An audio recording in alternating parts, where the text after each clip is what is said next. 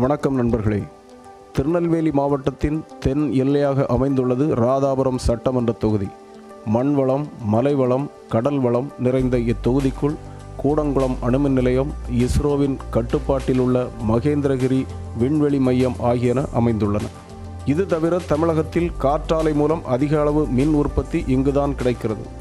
மேலும் விவசாயம் மீன்பிடி தொழில் ஓடு செங்கல் தயாரிப்பு ஆயத்த ஆடை தயாரிப்பு உள்ளிட்ட தொழில்களும் இங்கு அதிகமாக நடைபெறுகிறது.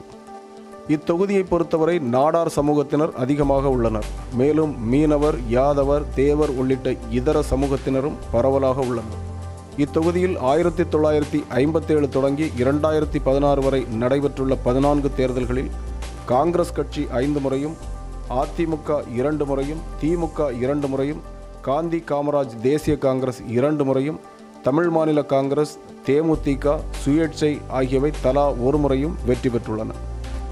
ராதாபுரம் தொகுதியில் மொத்தம் ரெண்டு லட்சத்தி அறுபத்தொன்பதாயிரத்தி எண்ணூற்றி எழுபத்தி நான்கு வாக்காளர்கள் இந்த தேர்தலில் வாக்களிக்க உள்ளனர் அதிமுக சார்பில் சிட்டிங் எம்எல்ஏ இன்பதுரையும் திமுக சார்பில் முன்னாள் எம்எல்ஏ அப்பாவு அமமுக சார்பில் விபி குமரேசன் ஆகியோர் களத்தில் உள்ளனர். இவர்களில் மக்களுக்கு யார் நல்லது செய்வார்கள் என்பதை வாக்காளர்கள் மிக துல்லியமாக கணித்து வைத்துள்ளனர்.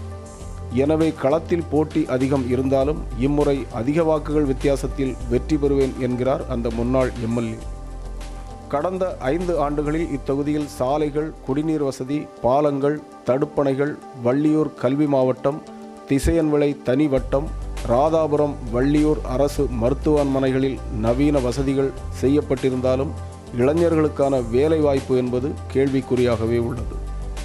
காவல் கிணறு பூ மார்க்கெட் புதுப்பிக்கப்பட வேண்டும் உழவர் சந்தை ஏற்படுத்த வேண்டும் வள்ளியூரை தலைமையிடமாக கொண்டு கோட்டாட்சியர் அலுவலகம் அமைக்க வேண்டும் மீன்பிடி துறைமுகம் அமைக்க வேண்டும் காற்றாலை உதிரி பாகங்கள் தயாரிக்கும் தொழிற்சாலை அமைக்க வேண்டும் என்பது இத்தொகுதி மக்களின் எதிர்பார்ப்பாக உள்ளது.